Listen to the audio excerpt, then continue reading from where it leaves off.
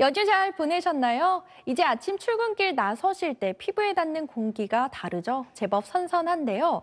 이낮 동안에도 선선한 동풍이 불어드는 동쪽 지역을 중심으로는 대관령의 기온이 20도, 포항이 25도 등 대부분 30도 아래를 밑도며 선선하겠지만 이 따뜻한 공기가 산맥을 타고 넘어가면서 전달되는 서쪽 내륙을 중심으로 서울의 낮 기온이 32도, 대전이 31도 등 낮더위가 계속되겠습니다. 현재 전국에는 구름이 가득한 가운데 일부 동해안과 남부지방, 제주 지역에는 약하게 비가 내리고 있습니다. 이 비는 아침 사이 대부분 끝이 나겠지만 동풍의 영향을 받는 동해안과 제주 지역으로는 최고 60mm의 비가 더 내리겠고요. 오전 중에는 시간당 20mm 내외로 강하게 쏟아질 때도 있겠습니다.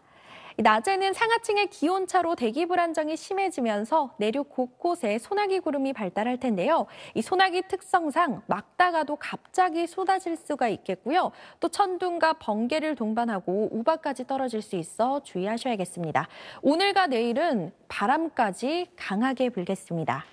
주말에 전국에 비가 내리기 전까진 소나기 소식이 잦겠습니다. 날씨 전해드렸습니다.